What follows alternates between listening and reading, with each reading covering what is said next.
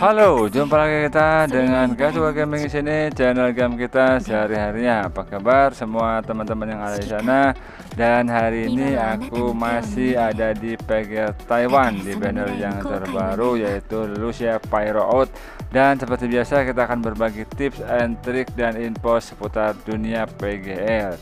Dan informasi yang aku akan bagikan pada hari ini yaitu berapakah jumlah PPC SAR yang kita dapatkan setiap minggunya di PPC Battle itu ya?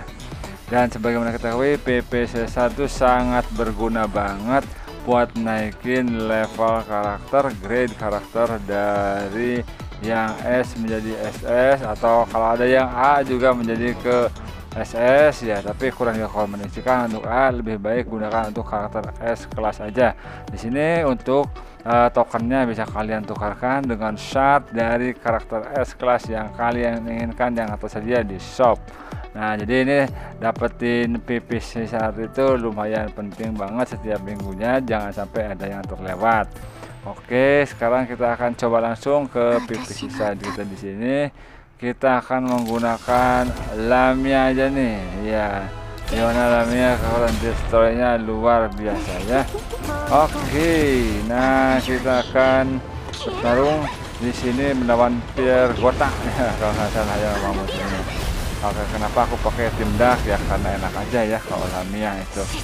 Uh, dan teman-teman harus rajin untuk farming ya. Baik itu farming memori farming sertifikat material lainnya ikuti misi harian misi mingguan misi event misi story. Kalau yang masih ada story juga hadiah bisi dari kompensasi. Biasanya 600 jumlah bisi yang akan diberikan untuk kompensasi. Bisa digunakan untuk gacha karakter ataupun gacha weapon. Sedangkan untuk menaikkan grade karakter bisa kalian lakukan gratis tanpa harus mengeluarkan bisi tambahan ya.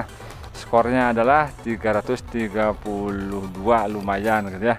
Untuk uh, dark team ini kalau sudah kita akan cek ke rewardnya. Berapakah PPC yang didapat dari battle ini? Setelah selesai oke di sini ada sampai bawah ya.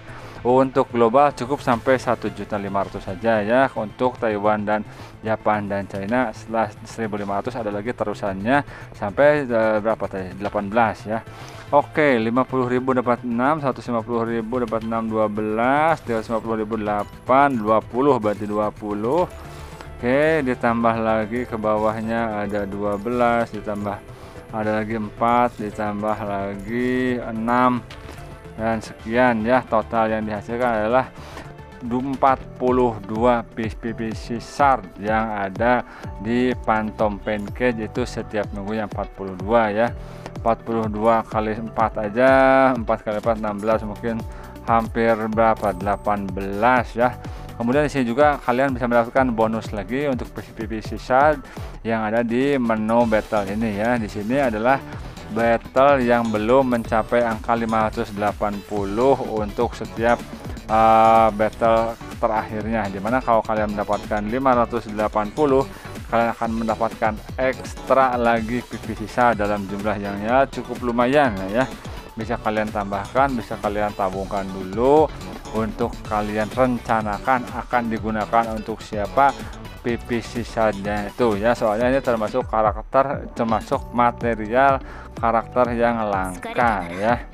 Nah apalagi buat teman-teman kita F2P ini sangat bermanfaat banget dapatin PPC SAR untuk naikin grade karakter Nah gitu aja teman-teman. Jadi jangan lupa ikuti terus misi harian mingguan dan eventnya. Siapa tahu dapat hadiah bukan hanya PPC Sad tapi banyak juga hadiah yang lainnya material-material berharga. Terima kasih yang udah nonton. Sampai jumpa video berikutnya. Subscribe like share and gaul. Bye bye